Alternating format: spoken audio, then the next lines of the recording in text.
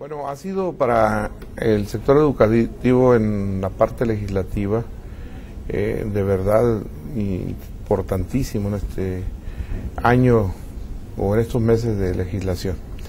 Eh, primero hay que mantener el criterio que la Cámara de Diputados, en la propia Comisión de Educación y de manera muy plural, coincidimos en la necesidad de que la inversión en educación pública eh, no siguiera recortándose.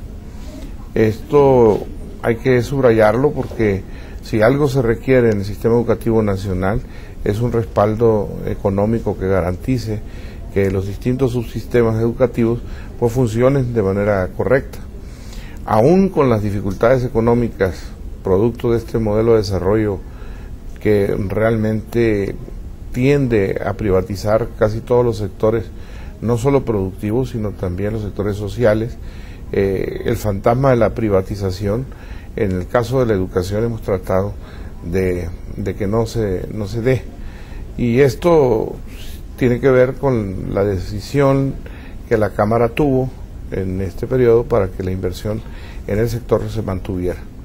Sí lo hemos planteado. Yo creo que en estos dos periodos si algo se ha debatido es eso. Sin embargo, la realidad eh, y la respuesta del gobierno federal ha sido una respuesta eh, muy limitada y considerando el periodo en el que se de alguna manera se esconde esa falta de voluntad política, esa falta de compromiso con eh, los parámetros internacionales de que marcan aproximadamente este porcentaje del 8% del Producto Interno Bruto, la Secretaría eh, ha mantenido siempre su, el velo o esta máscara de que no hay recursos y por lo tanto solo podemos lograr eh, aplicar estos recursos en México, aduciendo que quedarían eh, otros sectores totalmente desprotegidos. Es el techo financiero del país. Es lo, el argumento con el que han recurrido. Entonces, ¿Qué, hacer frente a esta realidad que te pinta la Secretaría de Hacienda, en donde ese recurso se cuenta en el país? Nosotros hemos planteado un plan de austeridad, un programa que regule la inversión en la burocracia, en la alta burocracia, no se siga despilfarrando tanto dinero y ese recurso, si no llegamos al 8% del Producto Interno Bruto, sí se canaliza en los sectores prioritarios como es educación y salud. Sin embargo, ha sido insensible el gobierno federal y mantiene estos criterios de un altos salarios en los niveles del Congreso, del Poder Judicial y por supuesto del Poder, del poder Ejecutivo. Yo creo que esto es lo que hemos sostenido, que paralelamente a eso también una reforma fiscal donde podamos obtener mayores recursos quitando el paraíso fiscal que, existe y que ha protegido a las grandes empresas nacionales. De ahí saldría dinero suficiente para garantizar esta inversión en el sector público. Sin embargo, ha sido omiso.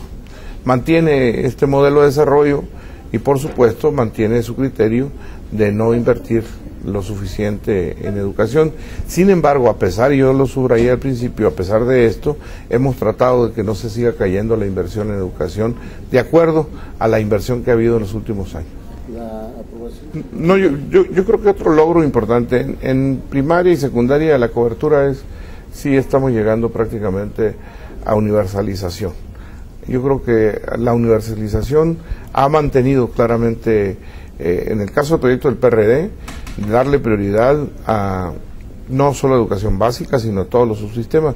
Por eso nosotros votamos a favor de que, a pesar de todas estas dificultades, la preparatoria, educación media superior, sea obligatoria para el Estado, la imparta de manera obligada el gobierno en los tres niveles y podamos juntos tener una posibilidad, a pesar de todo lo que se digan, el constituyente no pensó en que se iba a haber recursos o no.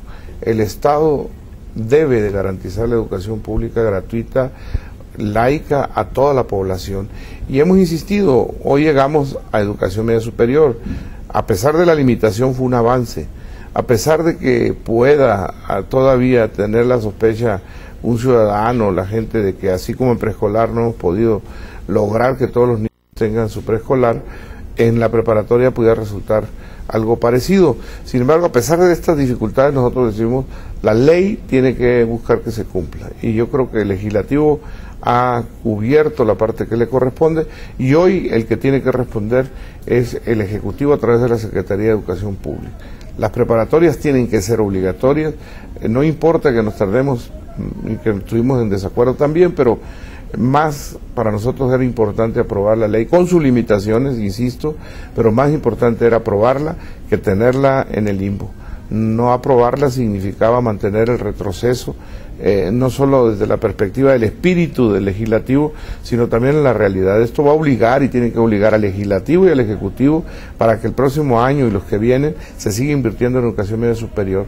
Cuello de botella en el eh, proyecto educativo nacional. Yo creo que si alguien eh, pueda eh, estar en desacuerdo con sus limitaciones, pues es, es, eso, es un desacuerdo que es muy respetable, pero nosotros tenemos que echarnos para adelante. La educación tiene que ser obligatoria en todos los subsistemas y el Estado tiene que seguir teniendo la obligación de darle educación al pueblo de México. ¿Qué hace? Bueno, yo creo que yo he insistido en esto. El asunto de la crisis educativa, que es un asunto también importante que se destacó durante este periodo legislativo, el análisis, la discusión, porque no solamente discutimos el problema de la inversión o legislar para hacer obligatoria la preparatoria, sino también estuvimos trabajando en la Comisión de Educación para ver de qué manera elevamos la calidad de la enseñanza en el país. Y uno de los puntos nodales fue esto justamente. Creo que no es un asunto solamente del CENTE de la cúpula de la burocracia charra que maneja y dispone del CENTE en su mayoría. Yo creo que con respecto a la disidencia eh, que se desarrolla dentro de esta institución, yo creo que sí es conveniente que se revise la relación de la SEP con el CENTE en términos de cómo éste se inmiscuye en asuntos de carácter estrictamente educativo, que es competencia del Estado, que es competencia de la Secretaría de Educación y el CENTE no debía de mantener eh, su intervencionismo dentro de la estructura del quehacer cotidiano del Magisterio Nacional. Sin embargo, insisto, no es responsabilidad solamente de todos los problemas que se tienen en la parte laboral, en la parte sindical, y que por supuesto yo apoyo que haya democracia, que haya eh, justicia para el magisterio, nacional, que se destierren esas viejas prácticas clientelares y de dominio y de amenazas permanentes de hostigamiento a quienes luchan por la democracia sindical. Pero, pero justamente en esto tenemos que diferenciar, no es un asunto estrictamente de responsabilidad del grupo dominante en, la, en el centro. Creo que esta es una responsabilidad colectiva y que a veces se esgrime este argumento para justificar una política educativa que no ha dado buenos resultados. Los resultados son responsabilidad de la Secretaría de Educación Pública, que en última instancia es el Estado a través de esta institución que ha permitido que el CENTE en una época longitud, ahora el Bester Gordillo, hayan tenido tanta injerencia y que hoy el resultado sea en un eh, porcentaje muy elevado de problemas en la calidad de la enseñanza en el país. Yo creo que esto debe corregirse, pero tiene que partir de una política educativa en la que cada quien realice lo que tiene que realizar. El sindicato que se dedique a sus asuntos sindicales y se sujete, se sujete al, al respeto a la democracia, se sujete al respeto a la dignidad de los profesores y la Secretaría de Educación se ajuste a las reglas y normas que regulan el sistema educativo nacional sin permitir que se siga manipulando la educación por el sindicato, también por otros sectores de la iniciativa privada, ¿no? que de manera constante intervienen y asimismo sectores religiosos que intervienen permanentemente en el desarrollo de la educación nacional. Por lo tanto, no es solamente desde una perspectiva integral el que el PRD pueda decir que es responsabilidad solo de la dirigencia y el intervencionismo del Bester Gordillo, que de suyo es reprobable, pero esto no significa que perdamos de vista que el problema es más profundo y hay otros actores implicados en esta crisis del sector educativo en el país.